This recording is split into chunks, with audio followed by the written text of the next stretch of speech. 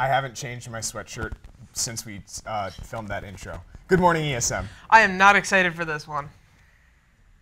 And I'm Toby. You may remember a while ago, John and Luke gave a list of bad morning show ideas. And one of the ideas was a water taste test of sorts. And I said, you're wrong. And I wrote a script. So today we are going to be doing a little game show right after news and announcements. Kiki Hardy, a kindergartner from Vista, California, managed to raise over $7,000 to eliminate her entire district school lunch debt. Hardy, who was five years old, decided to take action after hearing that many parents at the school were behind on lunch payments, so she decided to start selling cookies and hot cocoa in order to help out. Syracuse University student Alan Gonzalez, 22, is still missing after police determined they think he accidentally fell into the water the night of January 18th. Syracuse police, along with the state police dive team, went and searched for the boy on Tuesday at Onondaga Creek in hopes of finding him. Please stand for the Pledge of Allegiance. I pledge allegiance to the flag of the United States of America and to the republic for which it stands, one nation under God, indivisible, with liberty and justice for all. There will be a criminal justice club meeting after school tomorrow in the Career Center. All are welcome to attend. Today's touchdown tourney is a day not to be missed. Come and join us in the library after school to watch Mr. Hart, Mr. Causer, Mr. Underwood, Mr. Beelag, I think that's how you do it, and Mr. Ribzak to take on the students of ESM. Okay. All right, so let's get this started. Basically, we have, we have water. five waters here, or four waters in a thermos. That's because one of them is hot dog water. Made fresh this morning. Made fresh this morning. It's still warm. Nothing goes better for breakfast than hot dogs. So Malachi, do you have your blindfold on? No. Put Shut on up. your blindfold. I'm working on it. Yes. All right. Bring in the first water. Just put it right in front of me. You didn't put All it right. in my hand. My hand is outstretched. So this is the first water?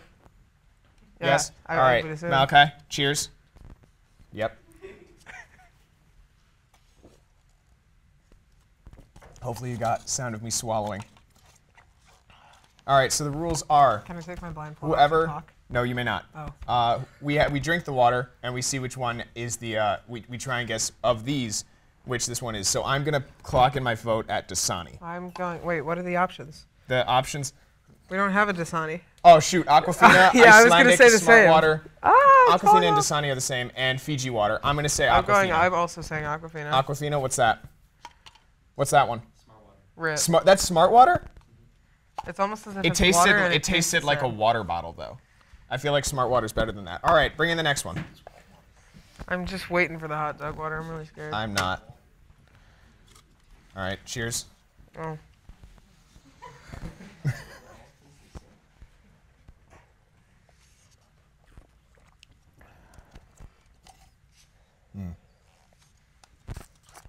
I don't know. I don't know. I don't know what basic things taste like. I know that the cover Ice- all 9,000 taste buds. I know that I know that the Icelandic water is more basic. I gotta don't- go with. I'm going with.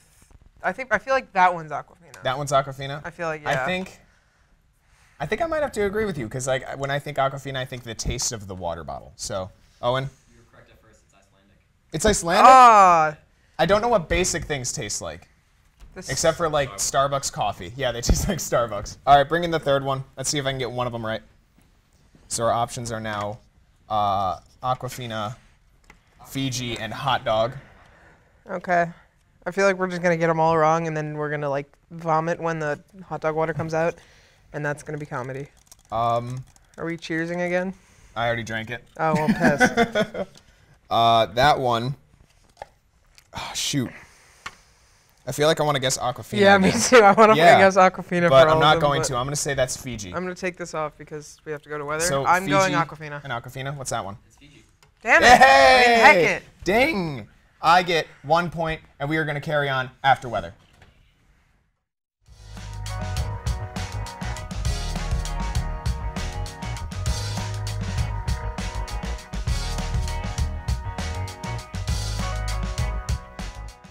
Today will begin cloudy with intervals of sun developing into the afternoon and a high in the mid to upper 20s.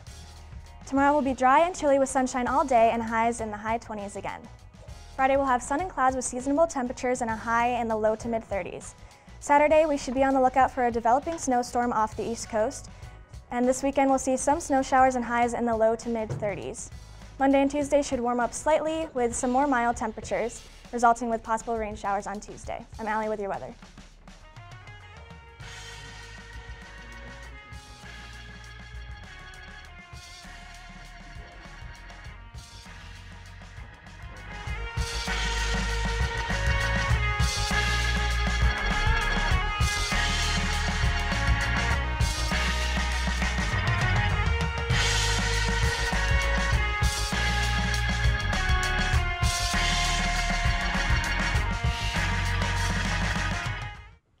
Hi, I'm Jane with Mysterious Facts. Today we tackle supernovas. Can you explain what supernovas are? I sure can. It's a powerful and luminous stellar explosion. It's usually an astronomical event that occurs during the last stages of a massive star or when a white dwarf is triggered into a runaway nuclear fusion. So, in simple terms, when a star dies, it explodes. However, can it destroy our entire solar system? It may. A supernova explosion can result in a shock wave that could not destroy the whole Earth, but the side of the Earth facing the sun would boil away, along with the other stars beyond our solar system. Wow! Chances are it may cause an extinction event, but that's not at all because we have to wait millions of years to have that happen.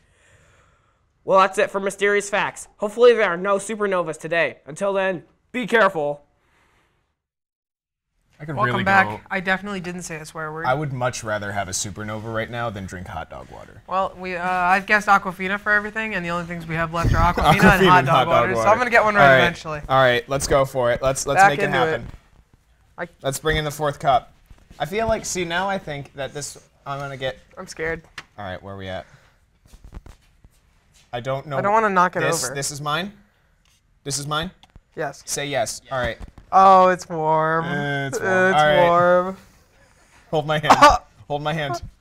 This is the hand with the water in it.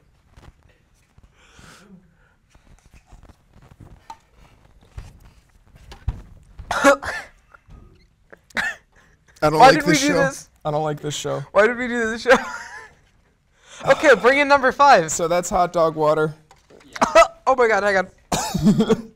Are you okay? Are you okay? Yeah. All right, bring in the, Okay, bring the in palate cleanser. I'm shaking. The palate cleanser is just more water. it's more hot dog water. Hey, uh, we'd like quick shout out to Owen. Hi, Owen. Quick shout out to Owen. All right, Malachi, do you have your cup? Yeah, I've already been. All right. I've already begun. I'm gonna have to guess Aquafina for that one. Yeah, that's Aquafina. oh, that's so nice after that. All right, so I'm gonna give us. oh my god. Oh man. That is going to stay with me us- for the rest of the day. I'm gonna give me two points, and I'm gonna give Malachi two points because we each knew what those were. You Uh, got, but like, two at other the end of the right, day, huh? Didn't you get? Yeah, no, you. Yeah, I got. I only got one other. Yeah. So at the end of the day, I have three points and you have two. But And I, I'm cool, so I win.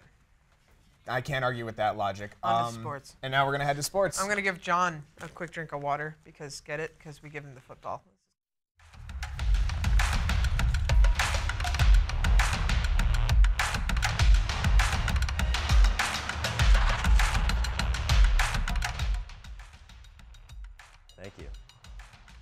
Oh no, I'm not drinking that.